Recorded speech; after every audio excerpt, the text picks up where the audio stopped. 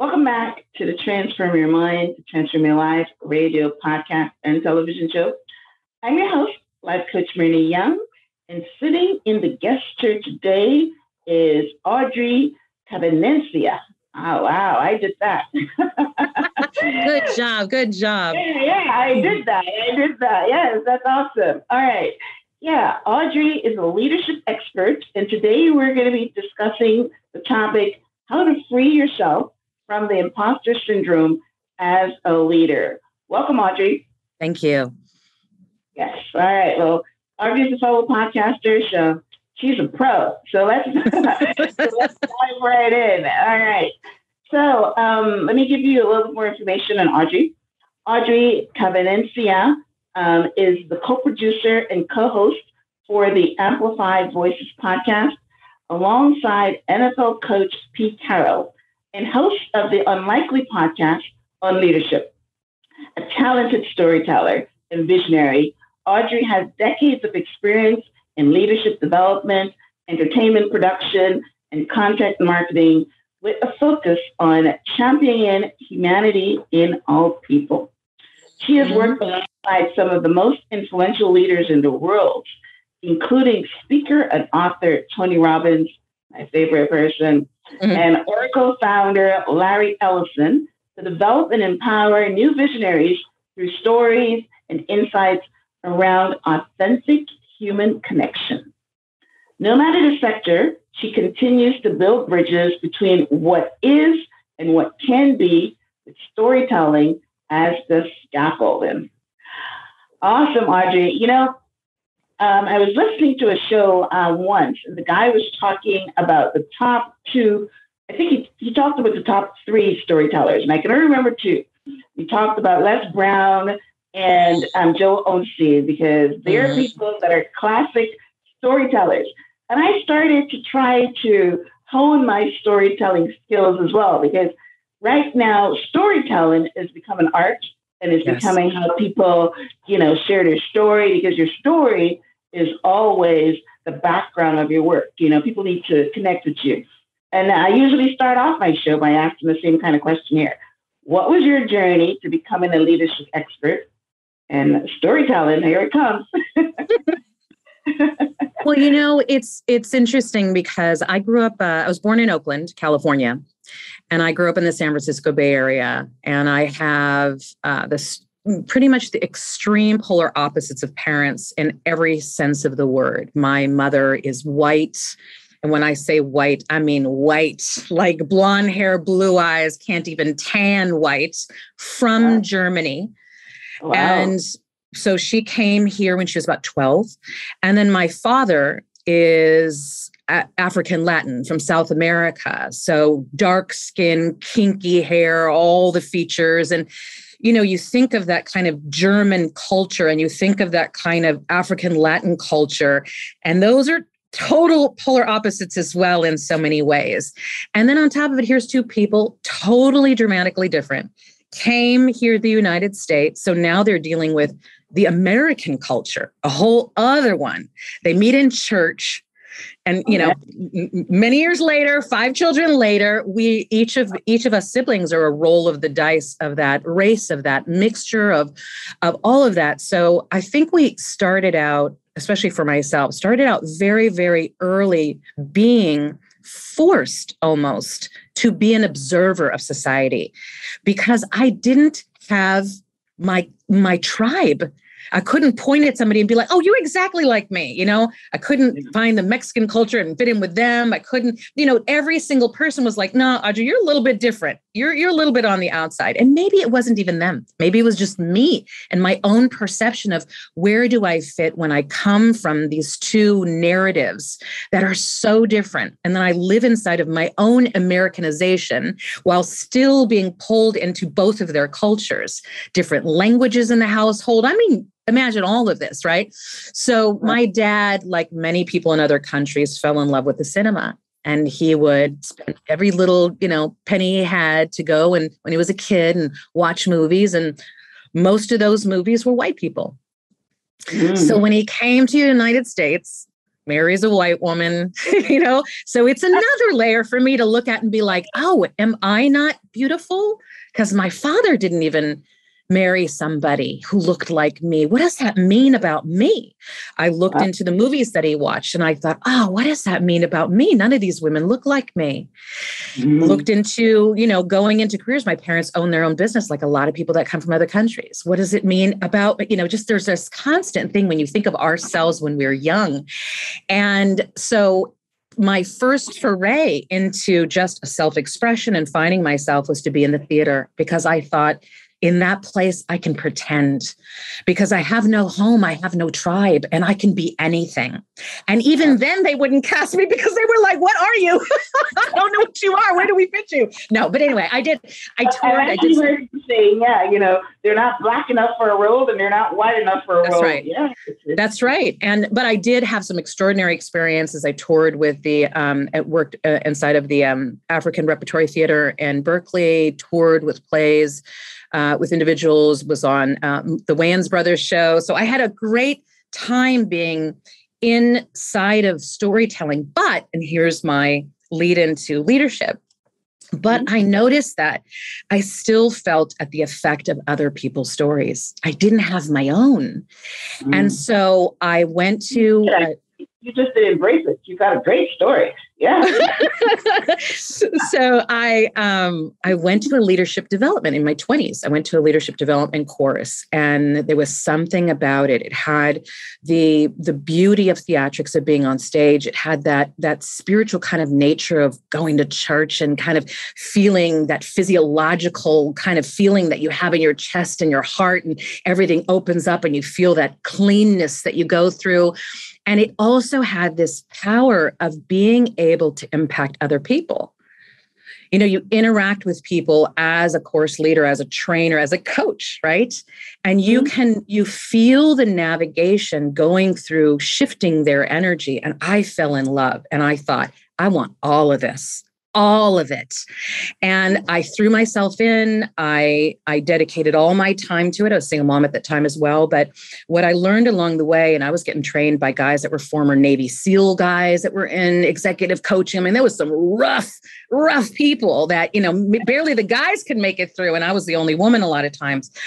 And there was this moment where i just kept i'm sorry did the physical training like the no no a lot of former people in military end up getting in coaching and executive coaching because of the rigor it's right. it naturally is a translation to say uh, you know we had to account for something yeah yes right. Hmm. and also mm-hmm. that they surrender to a team they know what that experience is. If I make a choice, it's not my choice. That choice affects the whole team. And that's what you get in when you start building with cultures and, and high level C suite executive coaches and training. So so it attracts a lot of those former people that have that kind of structure of discipline. And so I rose through the ranks. I, I became a really, really successful leader in that regard. And then one woman said something to me in like my pathway to keep rising through the ranks of executive coaching. And she said, Okay, great. So what? You can be a superstar, but can you create other superstars? And I thought, why? Isn't the whole point of competition to be the best? Why would I want to develop people to be better than me? But it really stirred something in my heart, in my soul. It spoke to something that was way down deep there, which was being a champion for humanity.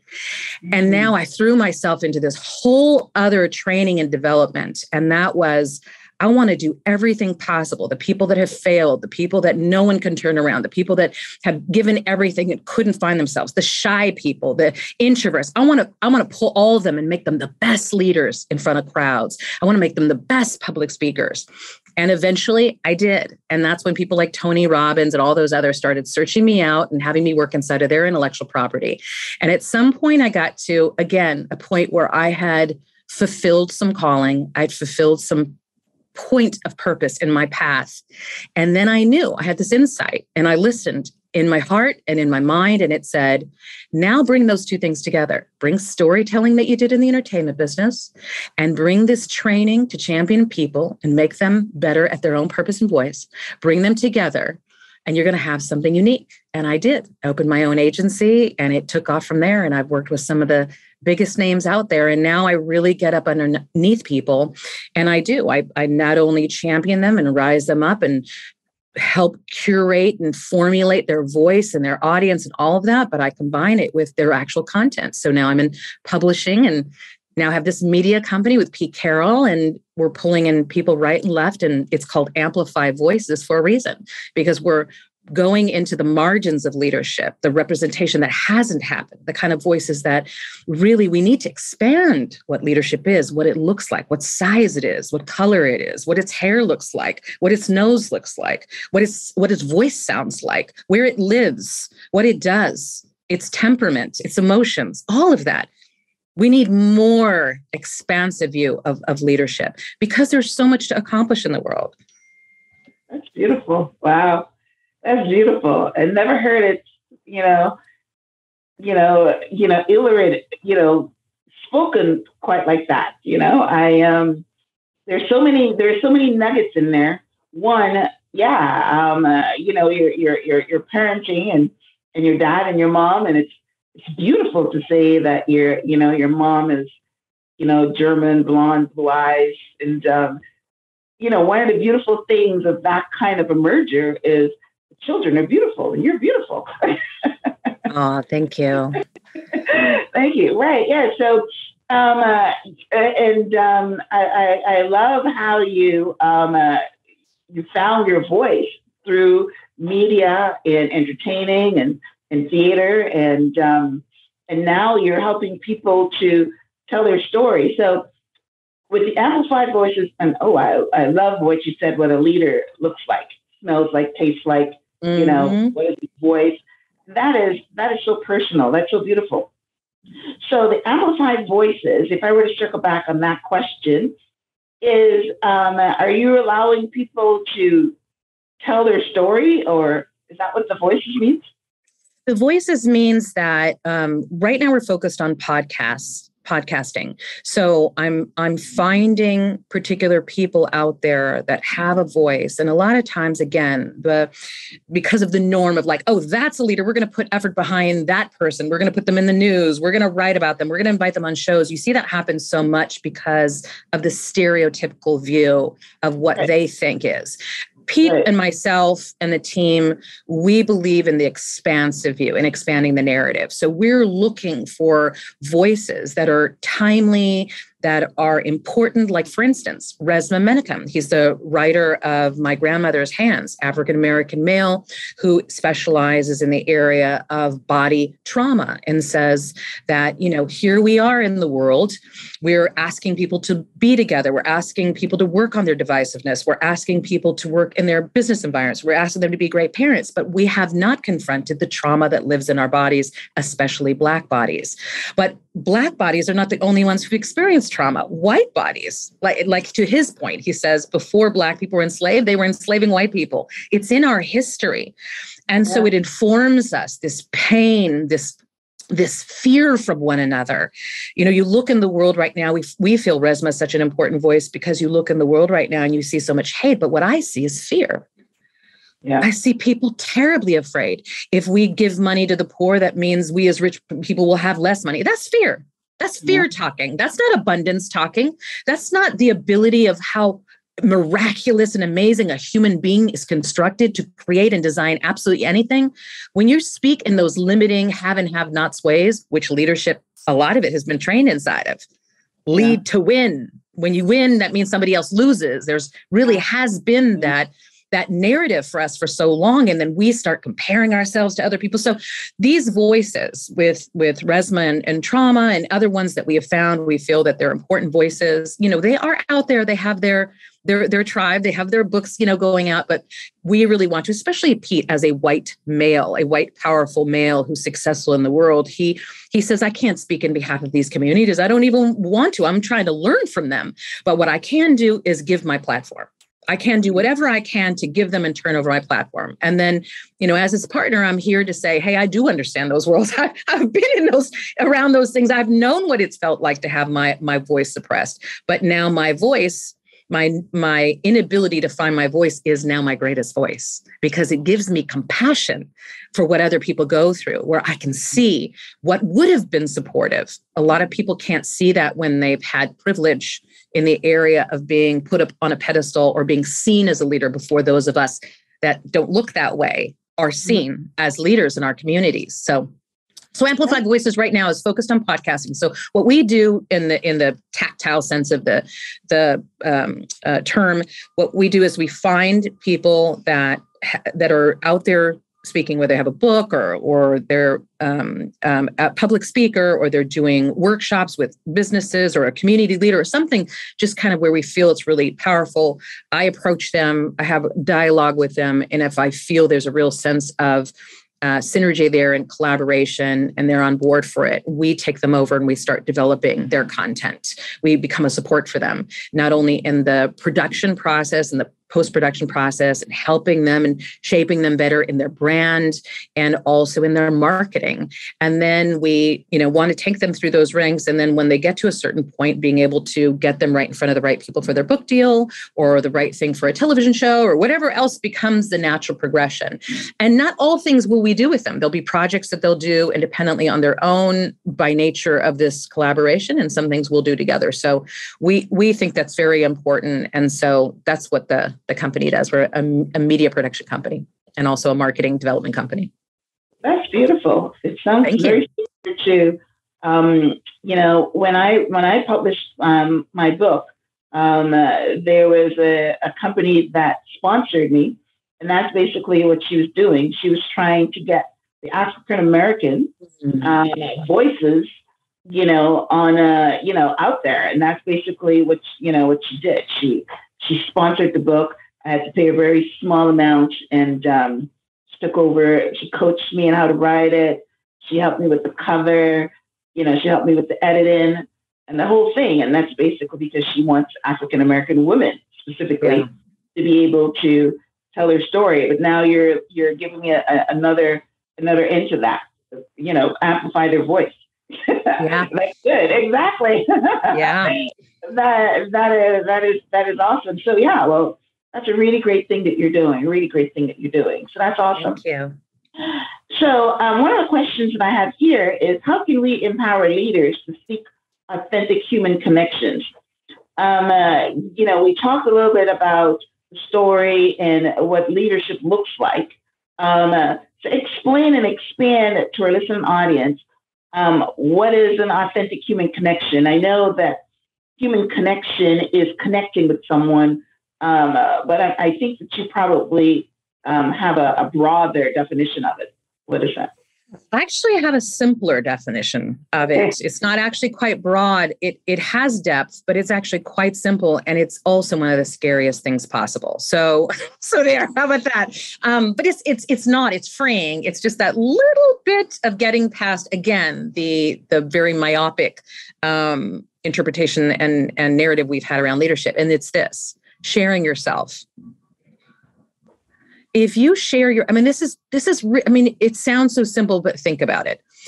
If people just think your listeners are are listening and just think of the last 3 days of your work life of maybe even your relationships maybe even with your children just moments where you wanted to say something and you didn't where you felt like you wanted to reveal something and you didn't where you wanted to ask for help or support and you didn't, whether it was your pride, whether it was your shame, whether it was because of the way you were raised, however it is. We deal with this. It's not a blanket statement or experience. It is a micro moment by moment experience where we do not have the freedom to express ourselves. Then, when you put on the label leadership, it's like, no, I can't tell the team I don't know what I'm doing. They won't respect me. I can't tell people I don't know how to meet payroll at the end of the week. They will leave. I mm-hmm. can't tell people that, you know, I'm putting on this big presentation on social media, but in the background, I'm suffering and I'm questioning myself, or I have an eating disorder, or I'm maybe drinking too much because of the stress and the pain or things I went through. I can't possibly say that. But it truly is an accurate statement to say the truth will set you free. But the other part of it in leadership is it won't just set you free, it will actually allow people to grow inside of your leadership. It is the greatest possible thing that you can do. Because think of this how can you get the best of people when you yourself, as the leader, are suppressed? Yeah. You are essentially raising other suppressed people. How can you get the best from your children when they can't, right? Yeah. Go ahead. One of the one of the things that um, people love about Gary Vaynerchuk is because they say mm. that he's very transparent, and he comes on and everybody again, um, uh, storytelling and transparency has become the buzzword because yes, transparency means you show people your inner feelings. But yeah, um, uh, it's, it's it's a great way now to connect with people because that's what you're doing it for. You're you're connecting with them through transparency. You're letting them see your pain. You're letting them see that maybe you're not as confident or something. But yeah, okay. Yes, because at the core is this. We have had so many examples, especially that's been revealed in the last few years with all this cancel culture that's happening most immediately. We've seen that we have been rewarding bad behavior in leaders because they produce results. Mm-hmm. They're running a big company. They're bringing in billions and millions of dollars. They are known and selling those albums and selling those CDs and being the head in that movie and then doing really, really, really bad things in the background, really impacting people's lives. Some of these people for decades. Some of these people still are not over and still live in that space of being victimized by these leaders. But they produce great results. So, you know, hey, I mean, you know, it's, it's, it's a balance. It's not a balance. It's not a balance because we have not seen what's possible to be in a world where we're not forcing with aggression and fear to get results out of people as leaders. What we're doing is when you say transparency and being ourselves, when you share yourself, and I don't mean like, oh my gosh, every, you know, going around all the time like you don't know what you're doing. I don't mean like that. I mean like there's this moment where you can feel you're a bottleneck to the yourself, to the team, something stuck. You don't have freedom. That's the moment to reveal something about yourself, to share, to ask, you know, your team to say, I don't know, can we all work together on some solution here? Whatever it is. Because what that does is it builds trust. Mm-hmm. If I see you and I know you, I trust you. If you're over there looking good, like you got it all perfect, then not only do I maybe question you, I question myself because I mm-hmm. think that's what it must look like to be a leader. And and mm-hmm. and maybe I'm not that. That way. Right, right, yeah? right, right. Trust mm-hmm. is what we need mm-hmm. in the mm-hmm. world. It's a missing space and energy. And we've allowed for so long to be this, oh, leave your personal life behind. And when you're a leader, you know, this is what you, you know, you only stay in the business world, you only talk business stuff. It's like this is in this is crazy this is crazy. I was speaking to a 12 year old the other day because one of the podcasts we're producing is for a host, a gentleman named Sean Good, uh, who did a lot of work with um, children in the juvenile system. And he's just amazing. And now I want to take him and I want to expand that out and have all young people and all that. But I came up with this idea that what if we have a podcast that interviews parents, educators, and the youth? Because that dynamic right there is intertwined by inauthenticity there's so much they have not been able to say because everybody's trying to figure out the right thing and that kid's just trying to be heard and seen you know parents trying to do their best the the teachers don't feel appreciated and then that kid's in the mix of that whole thing and i thought this is an amazing dynamic and so the podcast is called Possibilities Over Problems because a lot of young people are grown up and looked at as problems, um, or the teacher's the problem, or the parents the problem. But like, what if we all delved into possibility, right? So speaking to in my producing, I, uh, I, I interview the guests that come on beforehand to just get the right mix as we're, we're developing. And I was talking to a 12 year old and she was talking about, I said, what is the thing, one of the things that doesn't work for you in school that, that you wish would change? And she said, you know what? One of the, you know, little, little voice, even the 12 year old, she had that little girl voice. And it was Penny. She, she goes, you know, she's like, you know what? One of the things that doesn't work is I feel like I can't be myself at school because sometimes I'm hurting and the teacher doesn't really care. They just care that I do the work. I said, You know what, Penny? That same thing happens to your mom and your dad and me in work. Yeah. A lot of workplaces don't want to hear us either. And she was like, Really? That happens to adults too. And I was like, Yeah, we don't want it to happen either. We think it's unfair too. I said, But Penny, this is so important that you'd be sharing this because if if you and young people can change that when you're young maybe when we're adults we won't do that to each other either at work but that gives you an insight right yep. Mm-hmm. how long that's going on we've all been trained to keep your personal life at home yeah shove it yeah. down compartmentalize and go yeah. be only a fraction of yourself in the world but give me your best results otherwise i'll fire you come on men are perfect for compartmentalizing yep yep Yep. But but I think this is that's a great point. They're mm-hmm. perfect to a degree because when men became more and more in the workforce, what happened? Heart attacks started rising. Mm. And when women got the rights to start working, you could follow the, the data. When women started going more and more to the workforce, working in, inside of that fight or flight, give me results, I don't care about your personal life, what started happening? An epidemic of heart disease in women. Yeah. So yeah. while men are more built to be compartmentalized, they're not built to stay that way. Right. That's yeah. right. That's yeah. right. Mm-hmm. Okay. Yeah. So yeah, that's good. So um, uh, so what you're saying is authentic human connection is sharing yourself, letting people see your vulnerable, side, and uh, you know, so they can trust you. And that's good. That's actually very good because if you lead that way, then you will definitely um, have, you know, another word that everybody is using now or culture. You'll have a, mm-hmm. a, a much better culture in your organization if um, you're perceived as that kind of leader. So that's amazing. So that also probably works when you're talking about diversity as well, which I know it's it's it's a big um, a, big topic in your work. Um, and um, you know, we were you know explain to someone that's listening um, how does diversity in leadership benefit an organization?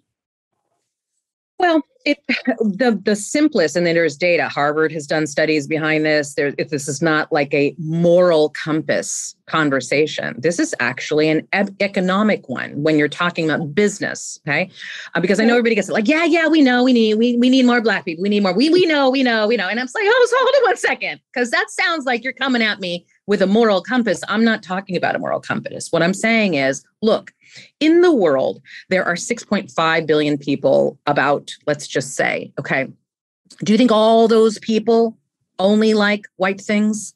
Do you think all those people only want to hear from aggressive, outspoken, bold people? Do you think all those people that resonates for it? No.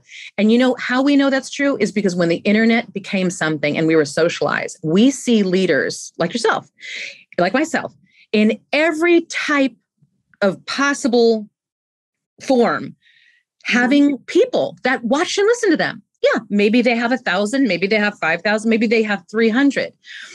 This is so important. This is what the economy is called uh, the long tail theory, right? We thought, well, we just need to be either your your nobody or your somebody. That's a very very uh, uh, strong narrative that's been around for a long time. But when the long tail theory came out, the long tail theory was look at a long tail. It has a, a larger part, a middle part, a tiny part, and all of that. So actually, what the future is really built on is people that have a unique self expression in the world, just like my story in the beginning. Like that story will resonate for whomever it resonates for, and it won't resonate for whom it does not resonate for.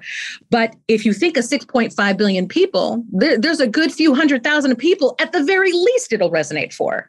Yeah, we yeah. don't, we no longer need, so this is one part, we no longer need to have such big numbers behind us to validate our worth we really only essentially need to find our tribe and build and expand upon that. That's number one. That's super important. That the data is 100% behind that.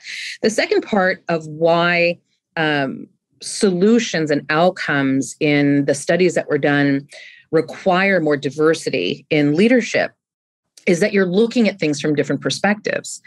And there is no way for someone to be able to have all perspectives embodied in their experience. I don't care if the greatest marketing person or salesperson on planet Earth, you still cannot embody all perspectives. But when you start bringing others, this what it allows for and this is what the data has shown there is more innovation in diversity. And the reason is because if you start hiring people and only have people around you and only listen to people that agree with you, look like you, and have your life experience, at some point you're going to be limited on the truth and what's possible. Because this happens to me a lot of times in my consulting days, not in my media days now, but in my consulting days, I'd come in and I'd say, Hey, well, this is what I'm thinking. They're like, ah, Audrey, we already did that. And I was like, okay, well, what about not now? We already tried that. Uh, okay, what about that? No, no, we already did that. And I'm like, okay, but here's the thing: you might have already did, done it, but somebody right. who sees the world like me didn't do right. it with you. I right. promise you, if I do this thing you already did, but I do it with you, we're going to get a different result. And they're like, okay, let's try it. And you know what? We did every single time, 100% of the time. And that is because in a different way, which is just like a ridiculous example.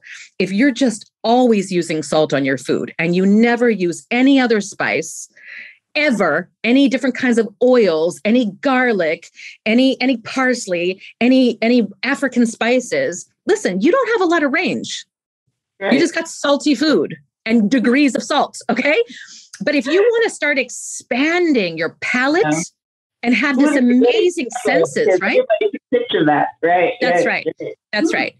And that's the same thing. Think of your business like expanding your palette. And if you expand your palette for business, you will reach greater, broader, and more expansive revenue streams. Yes. Yeah, I actually heard that. Um, I've done a few interviews on diversity, and um, uh, you know they say exactly that: is that you know, if you have a salesperson, for instance, or anybody in your customer service or any any facet of your business, um, and you have um, a different mix of people with different experiences, then of course your business will be better because um, uh, there's certain people will be be able to relate better to certain people, and it's it's just you're talking about authentic human connection, and that's basically a part of it. But you're also added the fact that, um, you know, um, as far as economic goes, then you're also able to reach a wider audience. But, you know, as far as customer service and connecting, it's always good to have diversity in, in, in the workplace. Okay, so that's awesome. All right. So now, um, you know, we were, our topic today is how to free yourself from the imposter syndrome as mm. a leader.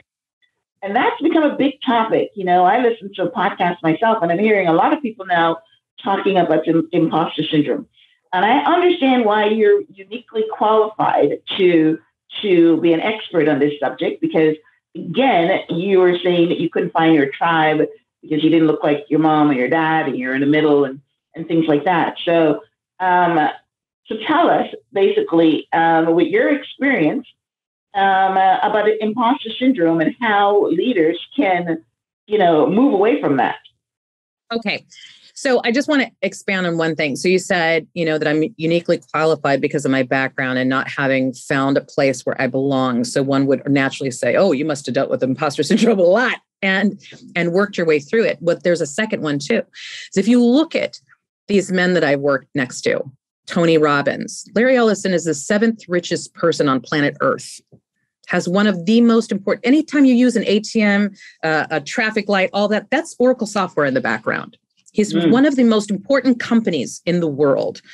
Um, pete carroll i i never even watched football. I didn't know who he was when i met him but for many people he's not only um, regarded and and held in some circles as legend but also he's very unique in the world that he's brought compassion and love to his players and has never been this you know tough yelling and you know verbally abusing his his guys. He's he's very very compassionate and treats every team member like family. It's very unique in that highly competitive field so if you ask yourself how does somebody look that look like audrey get is comfortable with being next to men of this caliber without ever questioning herself or working through questioning herself because to me that's a whole other level. If people want to know how to get diversity they should be talking to people that have had like my experience as well that have dealt effectively in that. And here's what i've come to. There's no such thing as imposter syndrome. It is like completely one more ridiculous thing to put in front of us that we have to overcome because in my reality and my perspective and my view, and I'll say this until the end of time if I need to, the only thing that causes imposter syndrome is the moment you question yourself and then believe it. Because no one's view of you can truly, truly affect you. It's only really your belief that that view is true where you start to change. Well, a lot of people feel that they have to fake it till they make it. So, you know, you were going another horrible narrative that we've been given. Oh my God. Well, when I think of imposter syndrome, I'm, I'm thinking of somebody that you, you, you mentioned earlier, a leader that um, uh, is stressed and, and they don't know how to handle something, but they're pretending that they know how to handle it and they've got it all together, or they they have lots of um, lack of self confidence that they can do the job, and they're pretending that. So what you said is actually true, um, a great definition, because you tell yourself something and you believe it, and you believe that you're an imposter until you work through it. Well, here's the thing. Okay. It's the pretend part that's so damaging. Yes because you can't i mean unless i'm hiring you to be an actor in a film okay there's really nothing beneficial about pretending. Pretending doesn't give you a skill set. Pretending doesn't give trust with the team.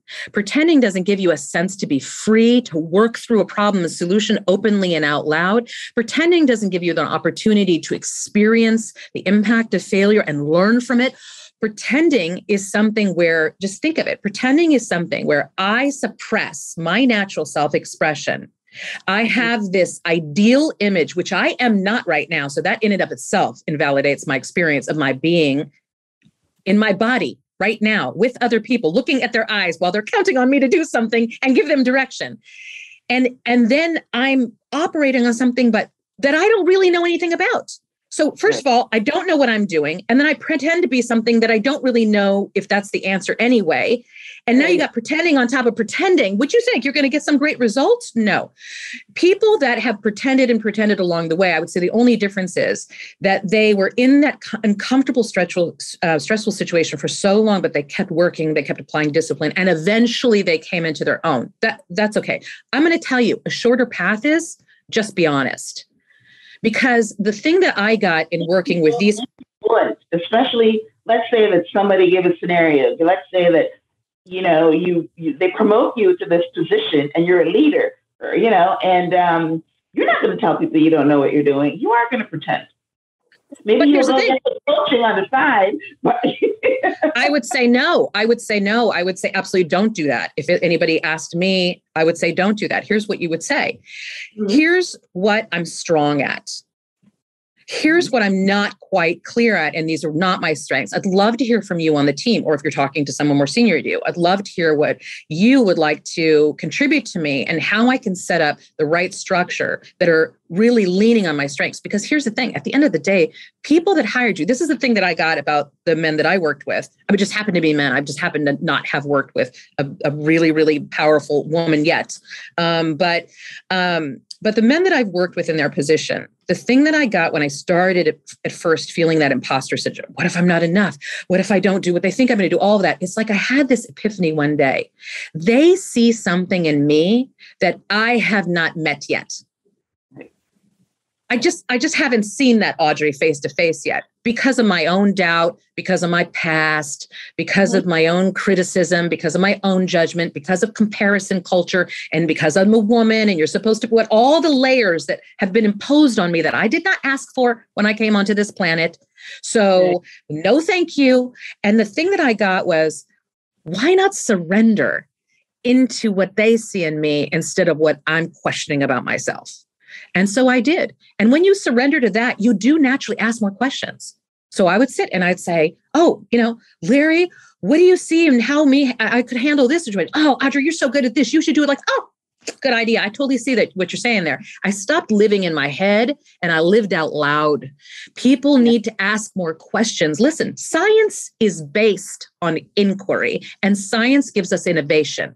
Why are people trying to come up with all the answers when scientists are asking all the questions when we as human beings should be asking more questions? You want the best from your team? Ask them. You want your children to work with you and be more craft? Ask them what's going on with them. Don't make up stories in your own head. Your own stories are informed by your past and your own personal experiences. Get out there in the world.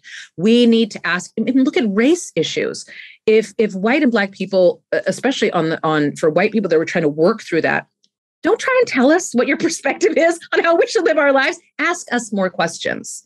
Right. Ask all of this. We, we really should take a big, long, hard look at science and how science lives in the state of inquiry. And if you ask and you ask and you ask, well, what about this? Okay, what about that? Okay, what about that? And you keep asking. There's a point in which you ask so many questions that you pop outside of the current reality. That's called a paradigm shift or right. breakthrough. And when you ha- when you have that phenomenon, what you do is you see a whole new world. Why can't we do that with ourselves? Why can't we keep saying, "Oh, Audrey, why are you thinking this way? Why, why would you think so hard on yourself? Where do you think that comes from? Oh, you know what? That comes from how my mom used to talk to my dad. And then I observed it and I thought, oh, okay, well, hey, why don't you create a different way, Audrey? Like, I'll give you an example. I'm, I'm, I'm, my son's 30, and I'm right now, we're working through, he works with me. So we work through a lot of not just mom, son, friend, because we're a wonderful friendship part of our relationship, but now I'm also boss employee, you know, that kind of dynamic mentor. He calls me his mentor. Mm-hmm. One of the things that I notice is that I had a way that I learned that when pressure comes on, like you need to produce results or or revenue or anything that's very, very like urgent, that I become more aggressive and forceful. Mm. Like, oh, well, don't you know what you're supposed to do? You know, like kind of like that kind of right. And and and I and I've gotten a lot of results out of that. And when we weren't examining leadership a decade before or two decades ago, whatever, people were like, "Oh, Audrey, she's like tough. You bring her in, and you know she'll give you what for, and she's a all that kind of stuff." But now, you know, I'm I'm transforming, I'm evolving as the world evolves, and I'm looking for that expansive view of leadership. And so, I was telling, I was sharing with the team because you said that he's a. Oh my gosh! Like I've learned, I learned from him. I ask him questions. Pete, how do you deal with that? And then I try it on, and I, you know, I try on different things. I'm not making myself wrong. I'm growing. Okay. I don't have to have. I don't need to be one note like that salt. I can be many flavors of my leadership, right? And I'm expanding. And I notice that I'm expanding. I notice that my son, when he works and the the breakdown with the sound or the camera, he gets all like, Mm-mm-mm. and I was like, oh, look at that. Look at that. I passed it on. Oh, no, no, no, no, no, right? And so I've been in this inquiry. Where did that come from? How do I equate stress, high levels of stress, with force? Oh, that's a natural. No, no, no. It came from somewhere. For me, it came from somewhere. And I look back when my mom, when I was a little kid, it was just me and my sister, and we wouldn't do what we're supposed to. My mom would start slamming cabinets and getting all like that, and her voice would get loud and whatever. And I remember as a kid thinking, ugh, that's awful. I don't want to be this way. And you know what? When you say I don't want to be that way, you usually uh, grow up and being that way because it's a blind spot. Because yeah, you yeah. thought you didn't want that behavior.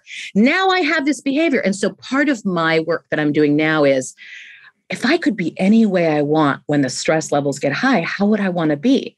Well, I would want to be free. I would want to experience joy. I'd want to be like, oh, challenges? Come on, let's go. I want to be creative. I want to get people to rally around and we have fun. Like of all the different ways we can tackle this one particular challenge. And I'm starting to loosen up this grip that's been on me.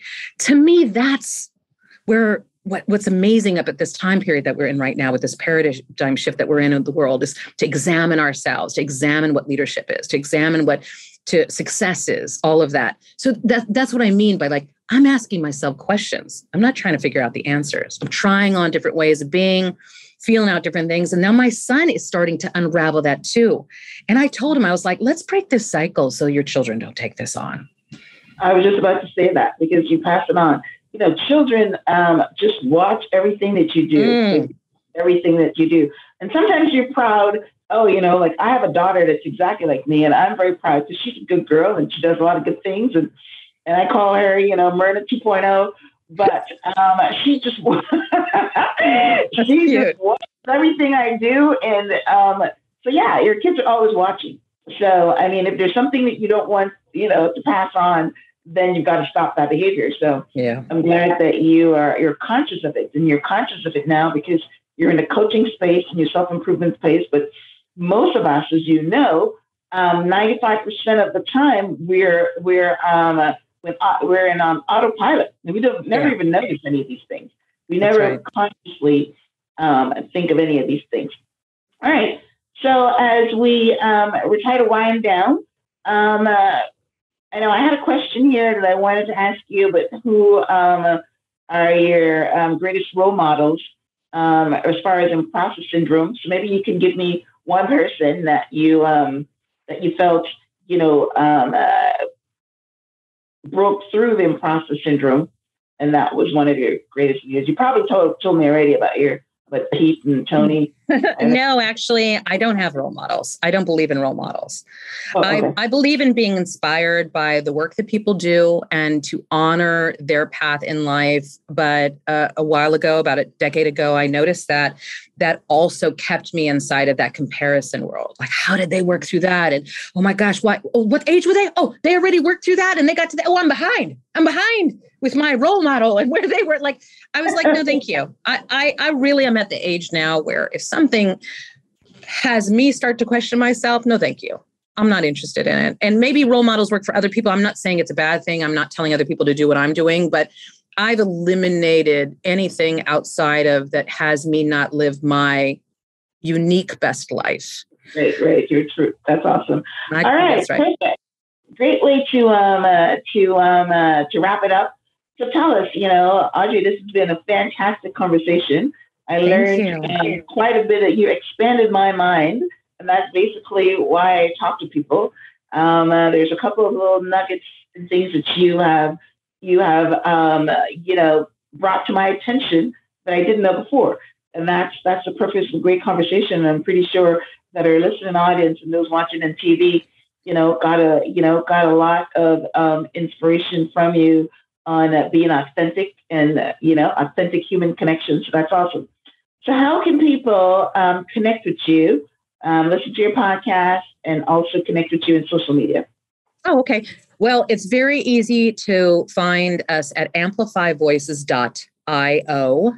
So amplifyvoices.io, and you'll find everything there. How to find me, all our podcasts are there. The upcoming podcast, like I mentioned with Resmaa or um, with mm-hmm. his called Gorilla Muse, or uh, Possibilities Over Problems, the young educator parent one. All of the new ones are coming up. Um, and uh, also my instagram is easiest it's uh, my linkedin is under my name audrey Cavenecia, and my instagram is unlikely podcast with audrey and then you can find my podcast with pete Amplify voices conversations from the heart on any platform where you listen to your podcast spotify apple everywhere it's everywhere and then also on um, unlikely leadership is mine and then Amplify voices we just won a prestigious award for it so we're very very happy that people have received it so well because the podcast just came out. So we're really thrilled about that. Really? You've got new and newsworthy? No, no, no, no. We won the Marcom Award, which is one of the top 10 awards in the, the world to win around uh, in the digital media space. So we're really, really thrilled about that. Well, congratulations. Thank that's you awesome. so much. Yeah. Yeah. yes, that's awesome. Well, listen, um, thank you very much for sharing your vision and your Thank passion. You. you know, I love talking to people that have passion about their work. And, you know, when you said that you want to change the narrative and, and reach more people so that they know their, you know, their authentic self, it reminds me of what I'm trying to do here, you know, having trying to have people transform their minds because yeah. it just starts there. And once they transform their minds, they can have um, a much better life and live the life of their dreams. So thank you again. And um, any last words before we wrap up? Thank you for the work you're doing. It's so it's so um, I appreciate and fall in love with every single person that I meet that has taken upon themselves to actually create a better space for other humans. It's uh, again, it's not a moral compass. I'm not trying to say people that don't do it are wrong. I'm not trying to say that, but I do find a level of affinity and and um, admiration and respect. So thank you for what you're doing. And I really appreciate you inviting me into your space and in your world. Well, thank you, Audrey so uh, blessings in, in your job and, and the things that you're continuing doing and to lift up the voices. I love that. I love that. So, all right, guys. Well, listen, thank you very much for tuning in to the Transform Your Mind to Transform Your Life radio podcast and television show. If you're um, listening to this on iTunes, um, please uh, remember to subscribe and review. And um, uh, so make sure you go on and um, support Audrey support the advertisers uh, that support the show. And until next time, blessings.